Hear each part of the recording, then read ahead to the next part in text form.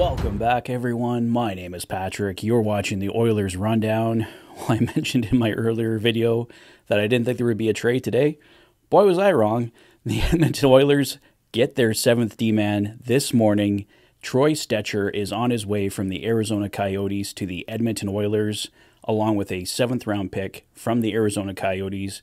The Oilers are sending a fourth round pick back in return. I unfortunately have to keep moving here. I have to take my wife to an appointment, so I can't do a full breakdown for you guys just yet, but uh, I should be doing other videos later today if we get more information on that. But for right now, I can tell you the Edmonton Oilers have acquired Troy Stecher from the Arizona Coyotes.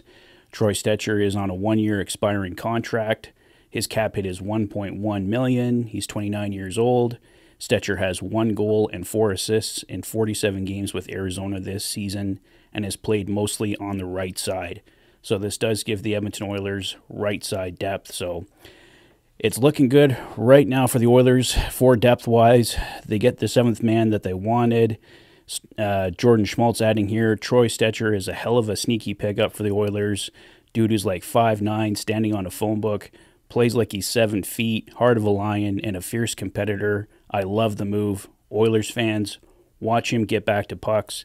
He's first touch all day, no matter who is barreling down on him. So, Jordan Schmaltz, who actually broke the trade with an outstanding recommendation there for Troy Stecher. So, I think this is a really solid depth pickup for the Oilers. Hopefully, it doesn't take them out of the Jordan Eberle sweepstakes, as we were talking about earlier.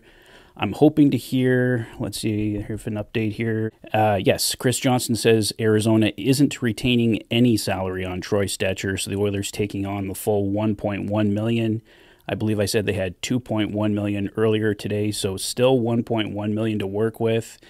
So the Oilers could still go after Jordan Eberle or another target. They would probably just have to move some bodies off the roster. I talked about Mattias Janmark and Connor Brown earlier as possibilities, so We'll see what happens there, guys. But uh, like I said, I'll have more on this trade later today. But for now, the Edmonton Oilers get their seventh D man. They have acquired Troy Stecher from the Arizona Coyotes. Let me know your thoughts on the deal in the comment section below. If this is your first visit to the channel and you like what you see, please consider liking and subscribing for all the latest Oilers content. You've been watching The Oilers Fanatic.